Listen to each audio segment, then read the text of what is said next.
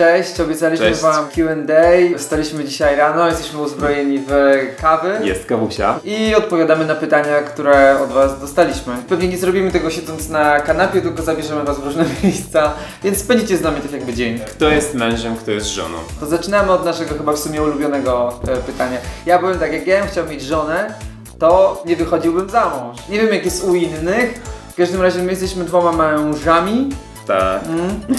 E, wymieniamy się różnymi obowiązkami. Ja zrobię kawę. Ja Ty wypiję. umyjesz. Ja, ja, ja wypiję. Naprawdę, nie przypisujemy sobie takich łatek, że ktoś jest mężem, a, a ktoś, jest, ktoś jest żoną. Jakbyśmy chcieli żonę, to byśmy znaleźli żonę. Następne pytanie. Ja muszę wytrzeć. O, Dawid wylał kawę, taki mamy początek. Kawa posprzątana, mamy drugie pytanie. Jak przyznać się przed rodzicami, że jest się gejem? Pyta Paweł. To jest proste. Wystarczy, że puścisz e, teledysk swoim rodzicom i zobaczysz, e, jak zareagują, więc Znaczy nasz teledysk, bo Dawid nie powiedział nasz teledysk. nasz Chyba, teledysk, puścisz- na przykład świąteczny, Jak będzie reakcja dobra, to mówcie o sobie. Jak będą nas wyzywali, to jeszcze się wstrzymajcie. Pyta nas e, Ewelina, jak radzimy sobie z hejtem. Jakim hejtem? E, szczerze, nie zauważamy hejtu, ignorujemy go. Naprawdę, nie skupiamy się nad tym, bo byśmy chyba sfiksowali. Następne pytanie. Jak spędzacie święta? Pyta Sabina. Jak zupełnie, jak każda para heteroseksualna. Najpierw pojedziemy do moich rodziców, później pojedziemy do twoich rodziców. Standardowo, A dzisiaj ubieramy choinkę. Dziś ubieramy choinkę, dziś, e, dziś przystrajamy mieszkania. E, zrobi się ładnie, świątecznie i przyjemnie. A masz już prezent dla mnie? Nie mam. Jeszcze nie mam. Kolejne pytanie. Czy warto czekać ze ślubem w Polsce, czy brać go za granicą? Pyta Krzysiek. Jeśli chcesz swój ślub brać mając długą brodę, starczą demencję i chodzić o lasce, to czekaj. My uznaliśmy, że chcemy mieć ładne zdjęcia ślubne, uznaliśmy, że nie warto czekać, bo się można nie doczekać. Teraz ja wylałem kawę. Teraz mamy nasz najlepszy czas, teraz jesteśmy młodzi i mamy energię i chcemy po prostu się cieszyć sobą. Dlatego wzięliśmy ślub za granicą. To ty, ty czytaj pytanie, a ja idę rękę umyć. I podłogę wytrzeć. Kiedy zorientowaliście się, że podobają wam się faceci? Ja niemal od urodzenia mam wrażenie, że podglądałem nawet moich kolegów niemowlaków, jak miałem dwa lata. Ja miałem dziewczynę Ale pojawiłem się ja i się zakochał i... No siła wyższa. i tak zostało. I żyli długo i szczęśliwie. Co według was wpływa na to, że geje często umawiają się na seks? Pyta Michał. My ze sobą jakoś niespecjalnie się umawiamy na seks. Nie, ja się z nim nie umawiam w ogóle, samo wychodzi. E, Samo wychodzi i to jest też dużo lepsze, takie spontaniczne niż jakieś takie umawiane, ustawiane. Często się słyszy o tym, że ludzie się umawiają po prostu na seks. Nie wiemy z czego to wynika i nie, chyba nie mamy się co silić na jakąś diagnozę tego stanu rzeczy, bo nie praktykujemy tego. Czy nadal czujecie do siebie pożądanie i czy w łóżku nadal jest ogień? Słuchaj, jest taki ogień, że ja powiedziałem Dawidowi, słuchaj, musimy iść na strażaków, bo nam mieszkania spłoną. Po 10 latach. I koniec w tym temacie. Czy naprawdę chcecie odpowiedzieć na te wszystkie pytania? Będziemy się starać. Na razie idziemy do przodu. Czy macie piosenkę, która kojarzy wam się ze sobą? Na początku naszej znajomości pojechaliśmy do Czech i była taka piosenka, do dzisiaj pamiętam tytuł, Ket Pridelaska, usłyszana gdzieś w kawiarni. Ja ją specjalnie gdzieś tam wyszukałem w internecie i czasami tego słuchaliśmy i sobie przypominaliśmy nasz pierwszy taki wakacyjny wyjazd. Choć przyjdzie laska, szybko może być. Ale przez tych 10 lat to się uzbierało sporo takich piosenek. Cały album byłby nasz. Jest taki przebój e, też w Szwecji, oni, oni się nazywają Camphor Drops, no może coś pomyliłem.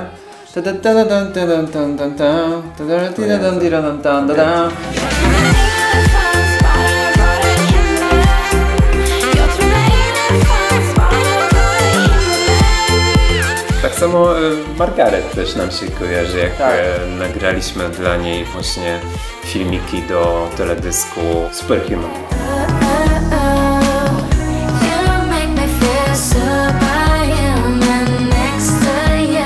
Dobra, jakie są wasze Ulubione filmy czy seriale. Mamy dużo e, ulubionych seriali. I dawkujemy sobie te serialowe przyjemności dosyć mocno, bo Nie byśmy- jesteśmy typami, którzy puszczą cały serial w jeden weekend, bo e, szkoda weekendu. Staramy się selekcjonować naprawdę to, co oglądamy i udaje nam się to całkiem nieźle. Moim ostatnim ulubionym serialem jest e, Dom z papieru. Najlepszy serial to są Wikingowie. Natomiast nie obejrzeliśmy ani jednego odcinka jeszcze Gry o Tron. Bardzo lubiliśmy Downton Abbey, House of Cards, Lutera. Wydaje mi się, że nie jesteśmy jakoś bardzo oryginalni. Things. E, jeszcze jest e, opowieści podręcznej. Wasze ulubione miejsce na świecie? Pyta Marta. Uwielbiamy Skandynawię i Maderę. Są kompletnie różne. Jest, jedna jest ciepła, jest wiosenna, jest kolorowa, druga jest zimna, ale jest tak magicznym miejscem Norwegia, że gdybyśmy mieli gdzieś się przyprowadzić, to byśmy mieszkali pół roku. Na Azorach, na Azorach, nie na Maderze, na Azorach. Byśmy mieszkali pół roku na Azorach albo na Maderze, a drugie Tak. pół roku byśmy mieszkali w Norwegii e, albo na Lofotach, albo w okolicach Tromsø. A, i od razu odpowiedzieliśmy na następne pytanie, gdzie chcielibyście mieszkać. No to już wiecie, gdzie chcielibyście mieszkać. A i tak skończymy pewnie w Helu, tak. Czy nie boimy się publicznie złapać za rękę, pyta Szymon. No to jest Polska. To jest Polska i tu... E, This is Sparta. This is Sparta, dokładnie. My się nie musimy łapać za rękę, żeby się obawiać, że ktoś nam może wpierdzielić, bo często się zdarza, że ludzie nas e, rozpoznają i najczęściej są to pozytywne reakcje, ale było parę razy takich, że ktoś nas zbluzgał na przykład e, na ulicy. Najczęściej to są tacy bohaterzy na rowerach albo e, szyby otwierają w samochodzie i coś do nas wykrzykują, wiedząc, że nie, mamy, nie ma szansy na konfrontację. Czy jak zamieszkaliście ze sobą, to potrzebowaliście nawzajem pewnego azylu dla siebie? My zamieszkaliśmy ze sobą e, trzy miesiące po tym, jak się poznaliśmy. Na początku, no to jest tak, że każdy, każdy czas chciałoby się spędzać z tą osobą, bo motylki w brzuchu Na po początku. prostu... Na początku, na początku. Nie powyleję. Także to nie jest tak, że, na, że szuka się tego azylu. Chce się każdą chwilę spędzać ze sobą. Moje pierwsze nasze mieszkanie to było malutkie, ono miało 30 parę metrów. Tak naprawdę jeden duży pokój i malutka sypialnia. Więc tak naprawdę ciężko było w tym mieszkaniu o jakiś azyl, o jakąś przestrzeń dla siebie. To bardzo zbliża. Idziemy coś zjeść, więc zabieramy Was teraz trochę na miasto. I kolejne pytanie, czy nagracie kolejną piosenkę? Piosenek to już mamy tyle, że w sumie moglibyśmy płytę nagrywać. One cały czas e, czekają na nagranie, bo mamy cały czas e, takie ważniejsze dla nas życiowe rzeczy do zrobienia, ale mamy kilka i, i są naprawdę super, więc na pewno je nagramy. By, być może zimą, być może na wiosnę, ale coś będzie. Jest tam kilka perełek. Jedziemy! Czy często bywamy we Wrocławiu? Pyta Grzesiek. Bardzo często bywamy we Wrocławiu, bo jeżdżę właśnie przez Wrocław do mojego rodzinnego Lubina. Ale jesteśmy tylko przejazdem we Wrocławiu, praktycznie się nie zatrzymujemy tam. Ale zawsze myślałem, że będę mieszkał we Wrocławiu i tu taka niespodzianka. Czy macie jakieś zwierzę lub chcecie mieć? Pyta Paulina. Zawsze chciałem mieć psa, miałem psa może przez tydzień. e, Jak nasiusiał na środku pokoju, to mama kazała mi się go pozbyć. Co znaczy, że się pozbyłeś psa po tygodniu, bo tego to nawet ja nie wiem. Był tak ładny, że zaraz e, koleżanka chciała się nim zaopiekować. Aha, no to już trochę kamień serca. I kolejne, kolejne pytanie. Czy macie jakieś plany polityczne? Pytanie jest Mikołaja. Myśleliśmy trochę o starcie w wyborach prezydenckich, ale nie mogliśmy się zdecydować, kto byłby pierwszą damą, więc Ja mogę być pierwszą damą, nie ma problemu. Ale nie, tak poważnie to nie, nie mamy takich e, żadnych planów politycznych. Dobrze, następne pytanie. Czy zdarza wam się kłócić i czy macie ciche dni? Pytanie od Darka i Dominika. Nie, my się w w ogóle nie kłócimy. Ja jestem wręcz rozczarowany, że się nie mam za bardzo z kim kłócić. Ja mam czasami ciężki, trudny i wybuchowy charakter, ale Dawid to jest taki plaster miodu, który po prostu e, wszystkie te moje złości jakoś e, łagodzi. Więc mało się kłócę, nie mam się z kim kłócić. Biedny. Jak to robicie, że jesteście tacy szczęśliwi i się nie kłócicie? Pyta Ryszard. Mm. Kurczę, właśnie wydaje mi się, że cała sztuka polega na tym, żeby nic nie robić. U nas czegoś takiego nie ma, żebyśmy jakoś się mocno pracowali nad tym, żeby było dobrze. To po prostu przychodzi jakoś tak samo z siebie. Zrobiliśmy to, zrobiliśmy to 10 lat temu, jak się spotkaliśmy i tak to zrobiliśmy, że jesteśmy tacy szczęśliwi. No trochę jesteśmy, no. Troszkę tak. Co robicie w wolnych chwilach? Pytanie od Radka. Nagrywamy. Faktycznie dużo czasu zajmuje nam czasami nagrywanie, chociaż ostatnio myślę, że w tym roku też e, dużo mniej, bo uznaliśmy, że jednak e, chcemy też tak po prostu sobie pożyć nie tylko przed e, ekranem naszej kamery. Także robimy wszystko to, co normalne, myślę, pary. Poza tym, że to widzicie często. Dalej. Czy jesteście o siebie zazdrośni? Tak, zamontowałem mu GPS na nadajnik, śledziłem. Ale teraz już, mnie, sp- teraz już mnie spuścił trochę ze smyczy. Nie, żartujemy. Trzeba chyba jednak trochę mieć zaufanie. Jakie macie marzenia, które chcielibyście spełnić? Pyta Kasia. Takim jednym z marzeń jest to, żebyśmy chcieli się zestarzeć nie w Polsce. Sprzedać mieszkanie w Polsce, kupić domek na Maderze, e, mieć pole bananowców i marakui. A żyć z naszego hotelu w Sopocie. I już. Why not? Czy chcecie adoptować dziecko? Tatusi odpowiedz. Chciałbym, ale też chcę mieć swoje dziecko. To ja też. Więc musi być dwójka. Trójka, bo jeszcze trzecie adoptowane. Taką będziemy mieli patchworkową rodzinę. Jaki jest wasz patent na długotrwały związek? To się naprawdę samo To jest Dzieje. autorski patent y, Jakuba i Dawida. On się sam dzieje, nie mamy na to wpływu. Ale życia sobie bez siebie nie wyobrażamy, więc chyba już tak musi być. Skąd was tyle mobilizacji, żeby walczyć o swoją miłość? Michał. Nie czuję się, żebym przede wszystkim, żebym walczył o miłość, no bo miłość e, mamy i tak, i tak. I nie musimy o nią walczyć, nikt nam jej nie odbierze. Raczej.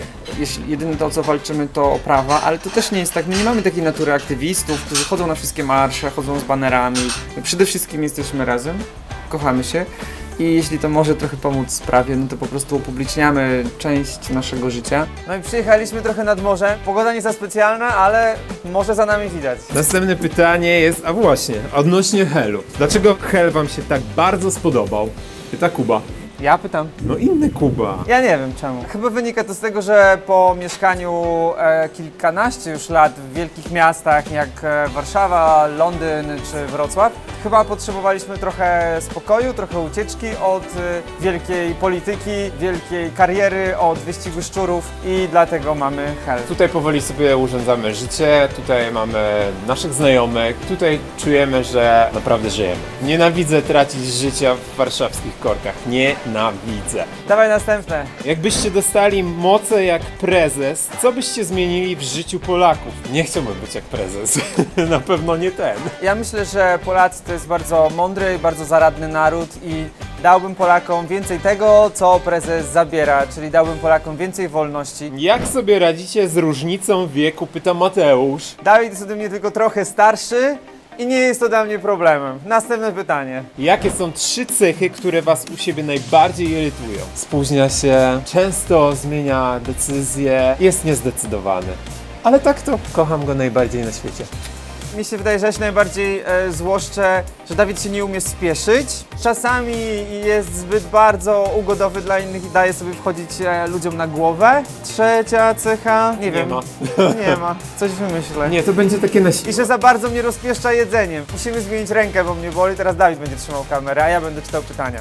Co was najbardziej zabolało i kto wam sprawił największą przykrość? Pyta Wiolka. Na pewno nie lubimy, jak e, ludzie kłamią na nasz temat. Ja pamiętam na samym początku, najbardziej nas zabolały takie komentarze, jak ludzie pisali, że a, oni tak naprawdę udają, mają dziewczyny e, i to wszystko robią tylko dla rozgłosu, w sensie, że udajemy nasz związek. Czy jak was się spotka, to można podejść i zamienić z wami kilka słów.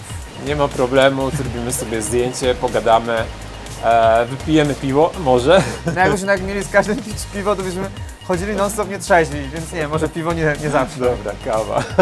Teraz takie krótkie i łatwe pytanie. Jak znaleźć drugą połowę? Pyta Kacper.